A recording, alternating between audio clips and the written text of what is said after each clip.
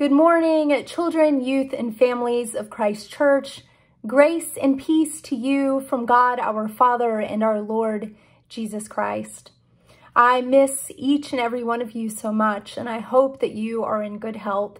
I'm thankful for technology, which can bridge some of this gap and bring us together, but I cannot wait to see you in person once again. Let's begin our time together this morning by listening closely to what the Bible might be saying to us here and now.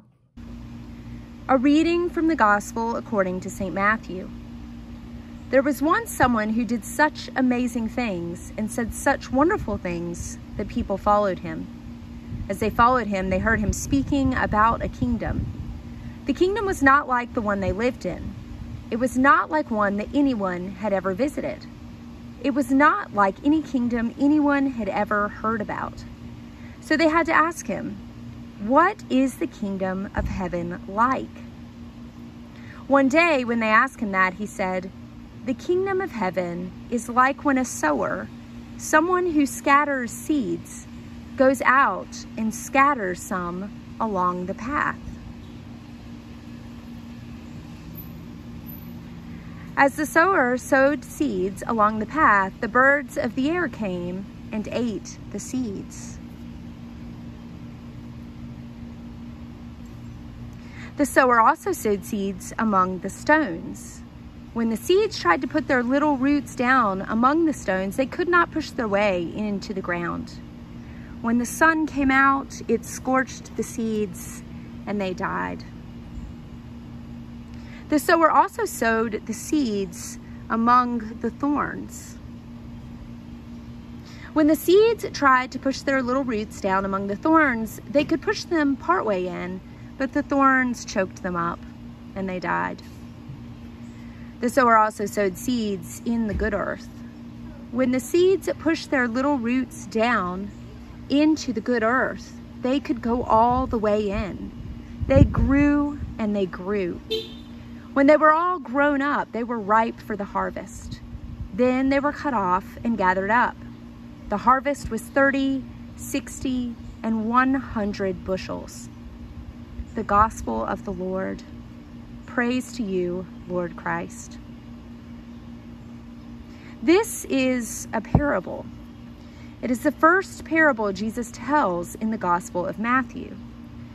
Parables are not straightforward. They don't just say what Jesus wants us to know, not directly. Instead, they take a bit of work. Parables question our everyday view of life. They ask us to imagine life differently.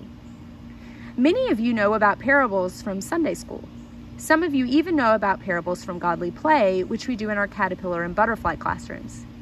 In those classrooms, everything has its place, and the parables are on a shelf of their own. Each one is in a golden box.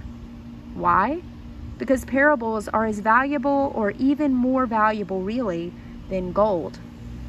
The box also looks like a present. Parables are presents. They were given to us before we were born. They are ours even if we don't know what they are. Parable boxes also have well-fitting lids. These are like closed doors. Sometimes parables seem closed to us, hard to understand and get into, even if we feel ready to enter them. We need to keep coming back for them, and one day they will open. Parables are remarkable because we are meant to see ourselves in them. They are our stories, straight from Jesus. What is the kingdom of heaven, God's kingdom, like? It is like a sower who throws out seeds everywhere. Some of them take hold and some of them don't, but the ones that take hold grow big and strong and yield plenty. We could ask many questions about the parable of the sower. What are these seeds? Who is the sower? What do you think? Do you think that we might be the sower throwing out seeds of faith to others around us? Or is God the sower? Are the seeds faith? Are they life? Are faith and life all that different? And what about those birds? Were those birds happy to eat the seeds? What happened to the seeds after the birds ate them?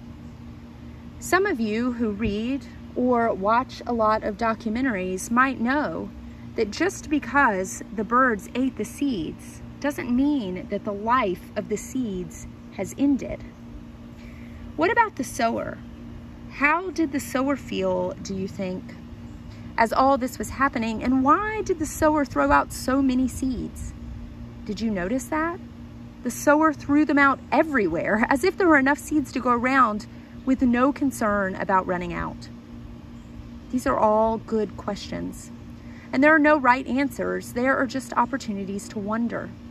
To wonder about God and about Jesus, about what our lives with God might look like and how we might do God's work here on earth. So this week, I invite you to wonder with your family about the sower and the seeds. Maybe look around and notice where there is new life or the potential for new life all around us. Perhaps plant a seed or many, many seeds and wait for them to grow. Look for God, who you will most certainly find if you look closely. Let's end with a prayer. Will you pray with me? Christ Jesus, as the earth welcomes seeds, we would like to welcome your word. In long moments of silence, by day and by night, it begins to grow within us without our knowing how. And so you make us children of communion. We are so grateful. Amen.